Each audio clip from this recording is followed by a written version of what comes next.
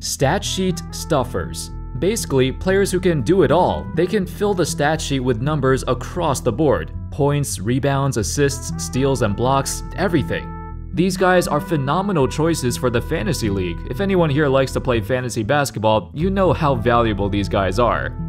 Also, in this video, I won't go too far back in history, cause in the 50s and 60s, they weren't recording steals or blocks, so I don't think it's fair to include players from that era. And the pace of the game was ridiculous, so the numbers were inflated. Sorry Oscar, sorry Wilt. I know I'm gonna be missing some players, but I'm putting 18 on my list, which is already a lot. You can let me know at the end which other players deserve to be on here. Without further ado, here are the 18 greatest stat sheet stuffers in NBA history. Also, if you enjoyed the video, make sure to subscribe. Apparently, over 60% of my viewers aren't. But hey, if you like the content, drop a sub or a like, and thank you so much for the support. Number 18, Draymond Green. When it comes to all-around stats, Green is the perfect modern example. Now, of course his scoring isn't that high, and he could do better in that department, but he literally does a bit of everything, even things that don't show up on the stat sheet. He had multiple seasons of averaging at least 7 rebounds and 7 assists. In the 2016-17 season, he also led the league in steals per game, and recorded 1.4 blocks to go along with it, joining a small select group of players in NBA history to do so. Number 17, Ben Simmons. There's been very few taller point guards to grace the basketball floor, and actually succeed in doing so. Simmons is one of them. While he runs the offense, his skill set is so diverse, he could post up and compete for rebounds against the opposing centers. He even led the league in steals in 2020 while continuing to put up 16, 8, and 8, his career numbers. We've gotten accustomed to him putting up this kind of stat line, but it's always impressive he consistently stuffs the stat sheet on a daily basis. Number 16, Fat Lever. Who is he? He's one of the only triple-double machines in NBA history that never gets talked about. Fat Lever in his prime was putting up nearly 20 points, 9 rebounds, 9 assists, and almost 3 steals per game. Those are insane numbers, recorded by a guy who gets little recognition. Not only that, but he was a point guard. And I'm not talking about a Magic Johnson sized point guard either. He was a slender point guard, 6'3, 170 pounds, who could do it all. NBA historians refer to him as the Jason Kidd of the 1980s. Number 15, The Matrix, Shawn Marion. A guy who didn't get his due. On the Phoenix Suns, he was always overshadowed by Nash and Amar'e, but Marion was legitimately the best third option they could have hoped for. His versatility on both ends, especially defensively, the team always relied on him to guard the opposing team's best wing players or perimeter threats. Back in the mid-2000s, I still remember people picking him in fantasy over guys like Kobe or T-Mac, because he hit so many categories across the board. Even three-point shooting too, he was surprisingly decent with his ridiculous T-Rex form. The 06 campaign was probably his most impactful year, with Amar'e sitting out due to injury, Marion made up for his absence. He put up a crazy stat line that included 2 steals and 1.7 blocks per game. He actually put up similar numbers in many seasons, displaying his all-around incredible play on a team that desperately needed him. Number 14, Andrei Kirilenko. He's got the greatest nickname of all time, and it works well with his game too, like how AK-47s are so versatile, so was he. Kirilenko played in an era where players like him were not appreciated enough.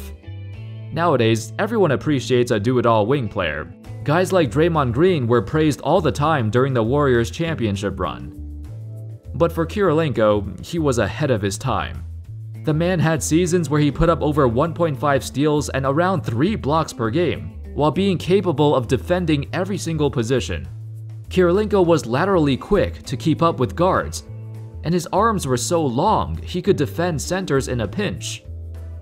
On top of being a phenomenal passer and great rebounder, there were no weaknesses in his game. Number 13, Luka Doncic. Luka's the youngest guy on this list, but there's no question he's had a legendary start to his NBA career. Maybe the steals and blocks are lacking a bit, but he puts up so many raw stats in every other category, it's crazy. He's the only player since LeBron James to put up these kind of numbers so early into their careers. Number 12, Giannis. He's just insane, especially his 2019-20 campaign. In other years, especially when he was younger, he'd consistently be near the top in steals and blocks too. But it's the passing that stands out for me. That's something that he had to develop over time, and now he's one of the best passing big men in the league too, a complete player. Number 11, Jason Kidd. You can't have a stat stuffing video without mentioning Jason Kidd. Back in the 2000s, he was the triple-double machine. He had the most triple-doubles of the 2000s decade. At that time, the only point guard who could do it all. He had some other great point guards who were lacking in one particular area or another, like Steve Nash when it came to defense, or others who weren't as good of a rebounder. Kidd's shooting was a slight weakness, but he improved over time. However, if you're looking for a solid 16 or 17 points, 7 rebounds, while also leading the league in assists for 5 different seasons, plus you add 2 steals on top, Kidd is your guy. Number 10, Larry Bird. You might be asking, really? Why is Larry ranked at number 10? Shouldn't he be much higher on this list? Well, this isn't a list about the greatest players of all time. It's about the best stat sheet stuffers. While Larry does stuff the stat sheet, he's always kinda lacked in the steals and blocks department, especially compared to the players coming up in this list. In this video, I'm giving more credit to players who excelled in those categories. Larry still stuffs the stat sheet though. He had multiple seasons averaging close to 30 points a game with 9 or 10 rebounds and 6 or 7 assists. A crazy amount of stats during an era where it was kinda rare to see. Number 9, LeBron James. Statistically, LeBron and Larry were quite similar. Larry had a few more rebounds, while LeBron had a few more assists. He kinda took what Larry did and turned it up another notch. I mean, it's LeBron for crying out loud. 27 7 7 career stats, nothing else needs to be said. Number 8, Kevin Garnett. KG was an absolute monster, and during his days in Minneapolis, his supporting cast was so bad that they had to rely on him to do everything but he delivered. For four consecutive seasons, he led the league in rebounding, but more impressively, there were times when he was forced to run the offense, and even took turns playing as the point forward just because the Wolves had nobody else. That's why he easily put up 5 or 6 assists and close to 2 steals and 2 blocks in some years too. Prime KG had the complete package, a statistical monster with no weaknesses whatsoever. Number 7 and number 6, James Harden and Russell Westbrook. Can't really have a stat stuffing video without these two. Now, of course, there's some stat padding going on, but it's not like they're the only ones who do that.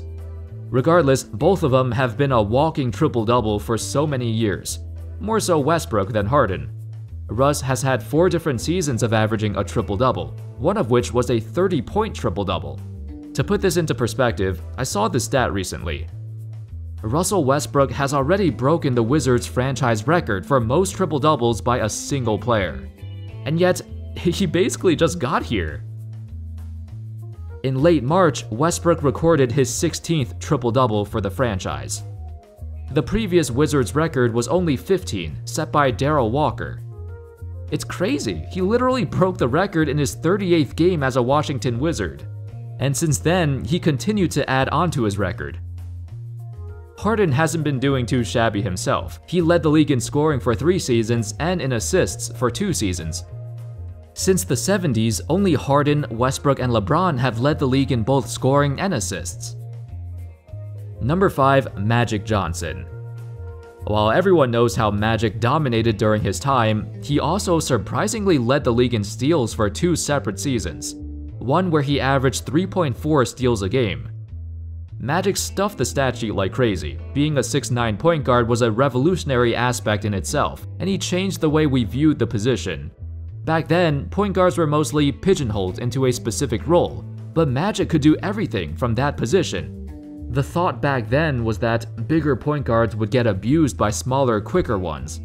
But Magic, especially in his younger days, he was as fast as a gazelle, could change speeds at will, and on offense easily saw over the defense due to his height, and could abuse his smaller defenders in the post. He changed the position, and now there's no stigma behind having a big guy running the offense. Number 4. David Robinson There's only two players in NBA history who recorded at least 4 blocks and 2 steals per game in a season. David Robinson and Hakeem Olajuwon. While Robinson didn't have the same longevity as Hakeem, at his peak, his numbers were just as impressive. One year, he led the league in scoring, averaging close to 30 points a game, and dropping 71 points one time. Another year, he led the league in boards. Another year, he led the league in blocks. In a six-year stretch from 1991 to 1996, he put up these numbers. Yeesh. Number 3. Michael Jordan. Can't really have a list like this without MJ. In his best statistical season, this is what it looked like.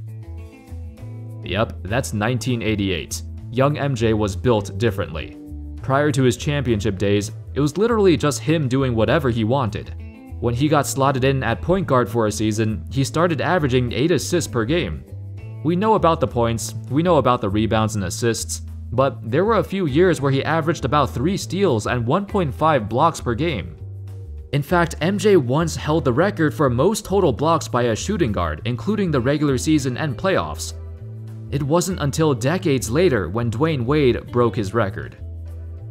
Number 2. Julius Erving This might surprise some of you who thought Dr. J was only a scorer, but back in the day, he put up some crazy numbers across the board.